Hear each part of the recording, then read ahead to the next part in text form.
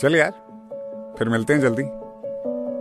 जब ये बात हम अपने दोस्तों से कहते हैं ना तो मनी मन हम भी जानते हैं कि अब दोबारा मिलना तो है नहीं। पर यार एक, उम्मीद देने में अच्छा लगता है, क्योंकि दोस्ती तो कॉलेज के गेट के उस पार ही रह गई। अब तो बस फ़ोन में कुछ नंबर हैं, जो उन दिनों